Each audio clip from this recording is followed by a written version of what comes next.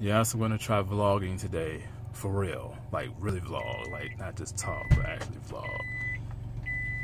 Oh, the back fans open up. Hi world. Hi world. oh, uh, crazy mommy's here. No, I didn't say that. I'm not the one getting in trouble. I did not call that her was that. Courtney. That was Courtney. Say, say hello to the world. Hi. They just referred to you as crazy mommy. That was Courtney. She'll be alright. Alright, I'll show you crazy later. Uh oh. Oh, Alright. Moving on.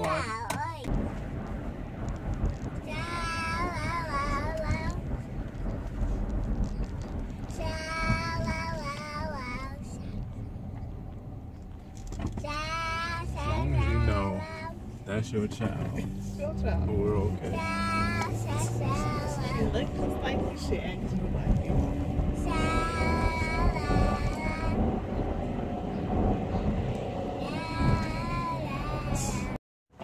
Alright, we have arrived here at Costco's.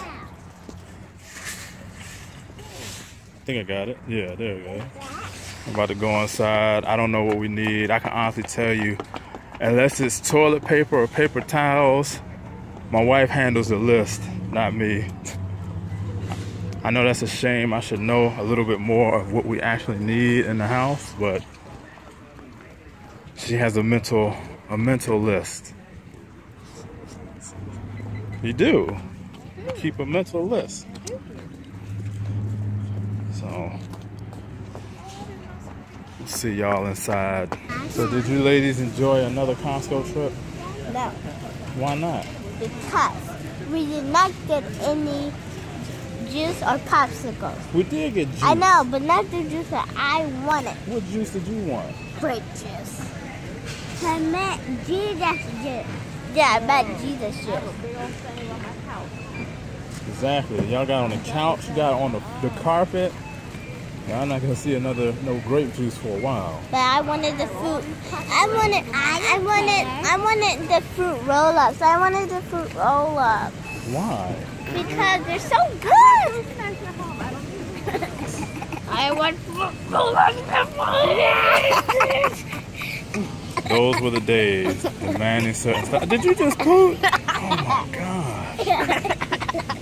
My youngest one is like the gassiest ever.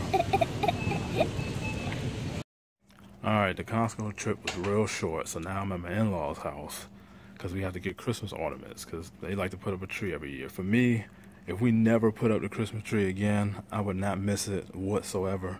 But I guess it's something that we can do as a family, and put the you know ornaments on the tree and take the time to do that. So I guess that's what we're gonna do. But I gotta go up in this attic to get the the decorations, and I'm not looking forward to it because in the garage. Dun, dun, dun. Ah. I don't like going to attics because you never know what's up there. Could be evil dolls, Chucky, you know, anything. Spiders, you name it, it's up there. I got a hoodie on though, so I'll be alright. But, alright, I'm about to head up there, and get this stuff out, and then we'll see where we go from there. Alright,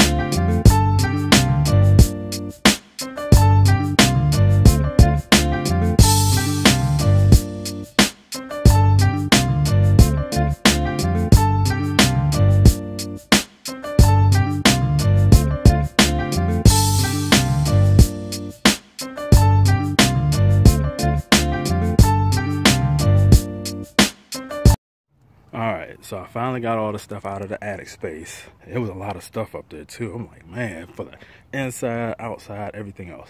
But while heading to Costco's, I asked my wife a random question that just came to my mind. And that's basically as a young man, or as a little boy all the way up till I was an adult, I was always taught and told how I'm supposed to treat ladies. And I mean, I, think it's a good thing. It's, it's definitely a good thing. And but I always wondered, are ladies taught the same thing? Like, are women taught, you know, or young girls taught how you're supposed to treat a man? You know, especially if he's a good man, not these disrespectful knuckleheads out here. But are they taught that, or are you only taught you know, how you're supposed to be treated by the opposite sex. Now, I'm not talking about just relationships, I'm just talking about in general how you're supposed to treat each other. Or are you just taught to, you know, respect all human beings and so on and so forth? Because even though I was taught how to treat people in general, when it came to the ladies, they specifically drove me on do's and don'ts.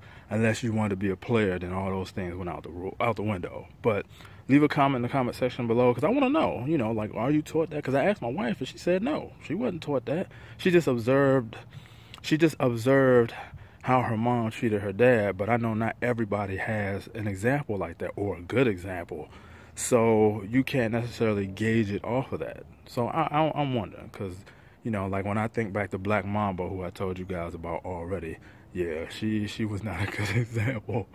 But all right, I'm gonna stop this for now, and next time you see me, I should be back at home. All right, I'm back home, and I need to. Earlier, I recorded uh, a video, my dark skin, but the way I recorded it, and you know, when you actually write things down, and I'm actually going through it I realized that I really overhyped this topic. Like it's not as bad as maybe some people who have experienced who are of dark skinned, especially in America, but mine really wasn't that bad. So I'm gonna redo it to kind of still talk about my experiences, but then also to talk about, you know, just how it didn't affect me that that much as much as I made it seem.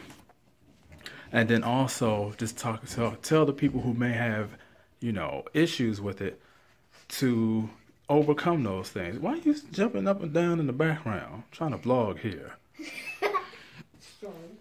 but that's it because I'm not saying that my experiences was just it was minor compared to what I've heard other people say, but without giving the total video away, you know, I learned the importance of having pride of both having pride and also having confidence in your own skin. But that's it for now. So as always, be wise and until I see you guys next time. Peace. Well, I was gonna say have a great weekend, but that'll work.